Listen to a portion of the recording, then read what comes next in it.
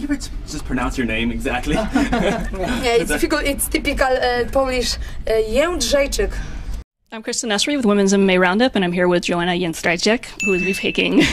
So the next one to get her shot is of uh, Polish fighter Joanna Jędrzejczyk, whose name I'm sorry. Joanna Jędrzejczyk. Yeah. Uh, who, who, Lima. Anna Jacek. Clean striking from Johanna Ejicek. I'm not even going to try to pronounce her last name. Uh, Jędrzejczyk. Split decision victory for Poland Jędrzejczyk. All right, I'm here with the winner, Johanna Jędrzejczyk. Carla Esparza versus Joanna Jędrzejczyk. Uh, Jędrzejczyk. Juliana Lima versus Johanna Jędrzejczyk. That drag check. Good round for Joanna Adricek.